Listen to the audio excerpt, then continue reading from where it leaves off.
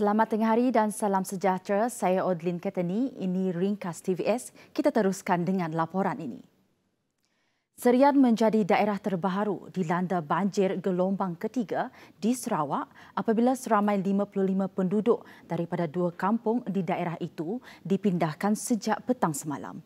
Ini menjadikan jumlah keseluruhan mangsa meningkat kepada 140 orang setakat pagi Kamis.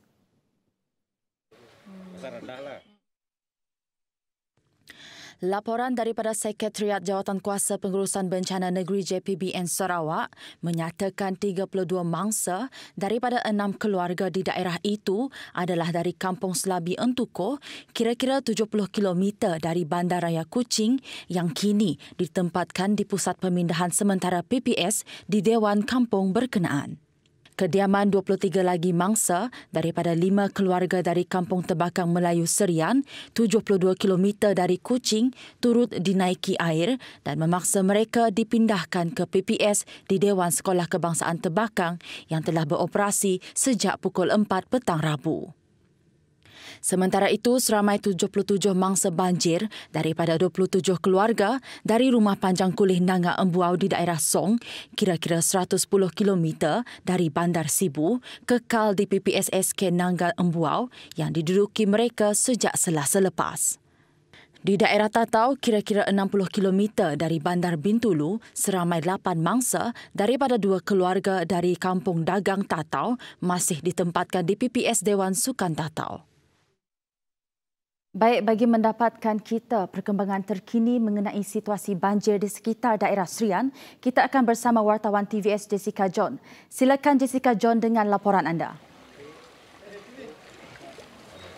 Baik, terima kasih Odeline yang berada di studio. Sekarang ini saya berada di Kampung Tebekang Dayak Serian di mana seperti anda boleh lihat sekarang ini uh, kawasan rumah beberapa buah rumah telah pun ditenggelami air dan uh, walaupun hujan kelihatannya ada berhenti seketika namun air telah menunjukkan tren peningkatan dan sebelum kami masuk saja tadi kami diminta untuk menaiki bot kerana laluan pejalan kaki tidak lagi selamat untuk digunakan. Sekarang ini saya bersama dengan tuan uh, Encik Henry George iaitu salah seorang anggota rela uh, untuk yang meronda di kawasan kampung ini. Baik, uh, Encik Hendy Jod, mungkin boleh ceritakan uh, mengapa ada beberapa buah keluarga lagi yang belum dipindahkan ke uh, tempat pusat pemindahan sementara? Uh, buat sementara ini, kami tunggu arahan saja. Arahan daripada kemungkinan Jepam, biasa Jepam lah. Uh, rela cuma memantau saja. Uh, dan buat masa ini air semakin naik. Dulu eh semalam dua kaki lebih, sekarang dah lima kaki lebih dah naik. Uh, buat persiapan kami, kami dah pindah semua barang. Selagi barang yang rendah, kuasa rendah, kami semua dah pindah. Uh, termasuk rumah yang rendah, semua dah dipindahkan. Itu saja. Terima kasih. Okey, baik. Uh, Encik Hendrik, kita nak tahu juga ada beberapa buah rumah yang telah dinaiki air sehingga ke paras bumbung tak dekat sini? Uh, buah masjid ini ada dua, ada dua tiga buah lah macam itulah. Dua tiga buah ada yang kena yang kena air buat masa ni. Ha, dia orang dah dia dipindah dekat rumah yang tinggi, tinggi lah, kuasa tinggi, keluarga yang tinggi, dia orang pindah dekat situ. Dan barang-barang dia orang kami dah tolong lah semua semua angkut semua. Ha, tu je. Sekarang ini beberapa orang anggota rela yang telah dikerahkan untuk meronda atau menjaga kawasan ini. Ha, dekat Tebekang ni ada dua platoon. Semua dikerahkan. Ha, semua dikerahkan. Sebab arahan rela ni daripada yang orang atas. Ha, semua dikerahkan sukarela aja lah buat kerja lah. Buat kerja tolong orang macam tu lah. Baiklah, saya kira itu sahaja uh, report yang boleh saya kongsikan kepada anda semua. Jadi anda dinasihatkan untuk sentiasa mengambil langkah berjaga-jaga dan uh, saya Jessica Chung melaporkan untuk TVS bersama juru kamera Fikri Raza, Kampung Tebekang Serian. Boleh ya? Baik seterusnya, setakat ini tiada keperluan untuk pengawasan menggunakan drone di daerah Miri sepanjang tempoh Perintah Kawalan Pergerakan PKPB. Ini kerana penduduk di Miri dilaporkan patuh kepada standard operasi prosedur SOP yang telah ditetapkan. Menurut Panglima 1 Division Major General Datuk Zulkafli Mustafa, operasi memantau dan mengawasi pergerakan orang awam di Miri masih dilakukan seperti biasa oleh pihak berkuasa. Orang awam di Miri dilaporkan mematuhi arahan sepanjang tempoh PKPB berkuat kuasa. Jelasnya setakat ini pemantauan udara di Miri tidak diperlukan dalam pengawasan Sekatan Jalan Raya SJR seperti yang dilakukan di daerah Sibu. Seramai enam pegawai dan 120 anggota tetap dan sukarela Regimen 511 Askar Wataniah diatur gerak bagi memperkasa penguatkuasaan Perintah Kawalan Pergerakan PKP di daerah Sibu, Sarawak.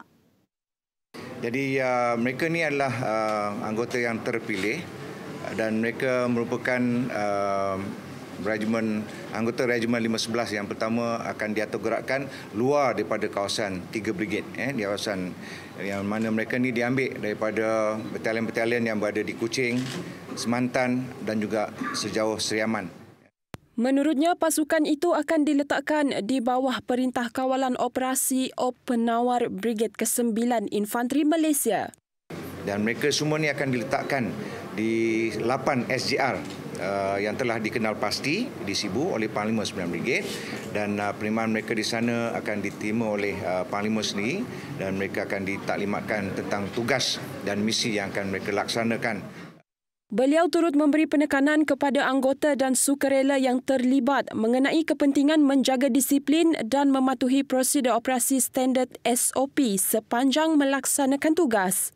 Jelas beliau pasukan terlibat telah pun menjalani ujian saringan COVID-19. Acara pelepasan telah disempurnakan oleh Panglima Brigade Ketiga Infanteri Malaysia, Brigadier General Dato Azhar Ahmad dan disaksikan bersama Komander Regimen 511 Askar Wataniah, Brigadier General Abang Muhammad Abang Marzuki. Sementara itu, Lieutenant Colonel Muhammad Nazri Ismail menyeru lebih ramai anggota sukarela pasukan tampil melapor diri untuk diatur gerak memandangkan penglibatan anggota dan sukarela amat diperlukan pada ketika ini. Pengambilan anggota baru juga dibuka kepada anak watan bumi Kenyalang yang berminat. Lawatan Perdana Menteri Tan Sri Muhyiddin Yassin ke Indonesia yang dijadualkan bermula pada Kamis dikawal ketat dengan pematuhan kepada prosedur operasi standard SOP berkaitan pencegahan pandemik COVID-19 bagi mencegah sebarang bentuk penularan. Wisma Putra dalam satu kenyataan berkata, delegasi Malaysia tidak dibenarkan bergerak bersendirian pergi ke tempat-tempat selain daripada tempat rasmi dan hanya dibenarkan berada di dalam bilik penginapan selain diwajibkan memakai pelitup muka setiap masa sepanjang berada di tempat-tempat rasmi lawatan. Turut dimaklumkan tiada sesi berjabat tangan, berpelukan dan bersentuhan sepanjang lawatan rasmi berlangsung dan pihak kerajaan Indonesia telah memberi jaminan akan menganjurkan lawatan rasmi ini dengan SOP pencegahan COVID-19 yang amat ketat.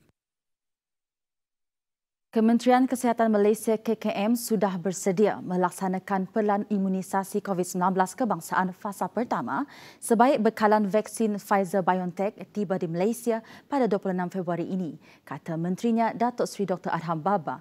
Beliau berkata sesi latihan awal penghantaran vaksin berkenaan ke Klinik Kesihatan Belaga di Sarawak pada 29 Januari dan Hospital Bintulu pada 30 Januari sebagai persiapan rapi berjaya dilaksanakan tanpa sebarang isu. Menurutnya, latihan awal penghantaran itu untuk memastikan bekalan vaksin dari kilang syarikat gergasi farmaceutical Amerika syarikat Pfizer di Perth of Belgium yang menggunakan bekas ultra sejuk sampai di Malaysia tanpa sebarang masalah. Fasiliti penyimpanan vaksin COVID-19 bagi fasa pertama yang dilengkapi kemudahan seperti penyejuk suhu ultra rendah ULTF bagi memastikan suhu bersesuaian untuk penyimpanan vaksin sebelum dikeluarkan dan diagihkan kepada tempat vaksinasi sudah dikenal pasti. Fasiliti yang dipilih untuk membuat vaksinasi peringkat fasa pertama ini melibatkan semua fasiliti yang telah pun kita survey, kita telah dapat maklum kita telah memberi membuat keputusan bahawa keperluan elektrisiti keperluan di uh, ultra low uh, freezer mm-hmm. uh, ULTF eh mm-hmm. temperature ultra low temperature uh, freezer mm-hmm. uh, ber, bersesuaian dengan temperature yang perlu untuk uh, vaksin itu sampai di tempat tersebut sebelum dikeluarkan ke tempat vaksinasi yang hanya ada 120 jam ya, untuk digunakan. Eh. Ketua Pengarah Kesihatan Tan Sri Dr. Noh Hisham Abdullah menegaskan bahawa amalan gaya hidup sihat dan menjalani saringan antara usaha wajar dilakukan bagi mencegah serta mengawal penyakit kanser. Katanya sama seperti penyakit kronik lain, kanser juga mempunyai faktor risiko yang sama iaitu satu per tiga kematian dikaitkan dengan berat badan berlebihan selain kurang melakukan aktiviti fizikal yang sihat. Pun begitu katanya KKM mengambil langkah kawalan ketat di semua fasiliti kesihatan bagi memastikan prosedur operasi standard SOP dilaksanakan ketika janji temu dan rawatan pesakit kanser serta memastikan mereka menerima rawatan sewajarnya mengikut jadual ditetapkan. Pembayaran kedua kepada penerima skim pengeluaran ICNAR kategori 1 bermula Khamis ini. Ia melibatkan 2.5 juta ahli yang telah diluluskan permohonan mereka. Pemohon-pemohon skim pengeluaran wang tabungan KWSP ahli di akaun satu tersebut sebelum ini telah menerima pembayaran pertama mereka pada 5 Januari lalu. Ahli-ahli KWSP yang mendapat kelulusan daripada permohonan ICNAR kategori 1 merupakan mereka yang mendapat kelulusan automatik. Ini kerana pemohon menepati kelayakan yang ditetapkan oleh KWSP seperti kehilangan pendapatan atau kekurangan pendapatan sebanyak 30%. Ahli-ahli untuk kategori ini tidak perlu mengemukakan sebarang dokumen ketika permohonan dilakukan. Pihak KWSP hanya melakukan perbandingan pendapatan melalui pemeriksaan di dalam rekod caruman KWSP setiap ahli. Manakala pemohon ICNAR untuk kategori 2 pula perlu mengemukakan dokumen-dokumen sokongan. Kumpulan pemohon dijangka mengetahui mengenai status permohonan mereka bulan Februari ini dan maklumat lanjut boleh didapati di laman web rasmi KWSP. Baik, laporan itu tadi mengakhiri ringkas TVS untuk jam ini. Teruskan kesihatan anda bersama kami. Saya Odlin Ketani, salam hormat dan jumpa lagi.